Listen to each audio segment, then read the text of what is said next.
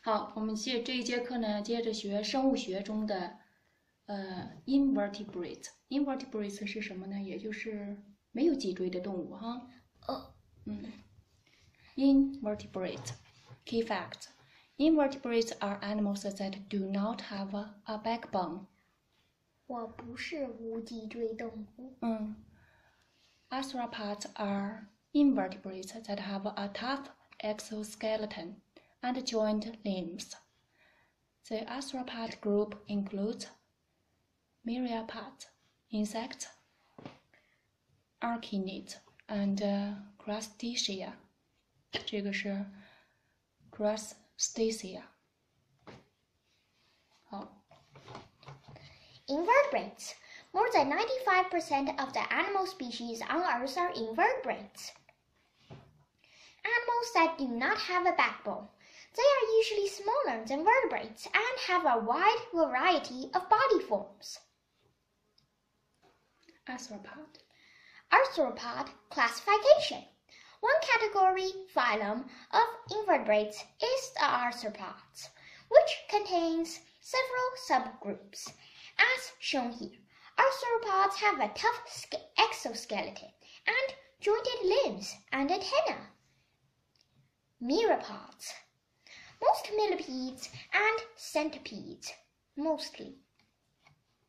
Insects includes bees, wasps, ants, and butterflies. Arachnids includes spiders, ticks, and scorpions.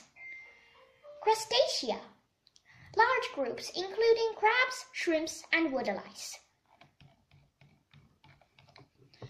Body of many similar segments, many pairs of legs.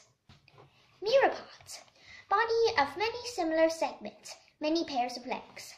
Insects, three main body parts, three pairs of jointed legs. Arachnid. Arachnids, two main body parts, four pairs of jointed legs.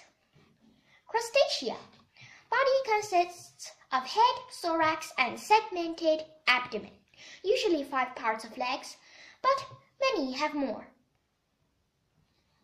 Five pairs. Yikes. Insects in the ecosystem.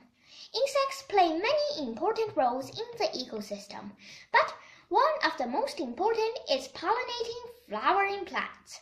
This is a mutualistic relationship. Insects get food from the flower, usually nectar, while also helping the plant reproduce by carrying pollen between flowers. This leads to the fertilization of flowers and the formation of seeds. Butterflies feed on nectar from flowers. Alright, that's all we have for today. Goodbye, and remember, 喜欢看英文，喜欢看英文的，请搜索“跟常荣学生物英文版”。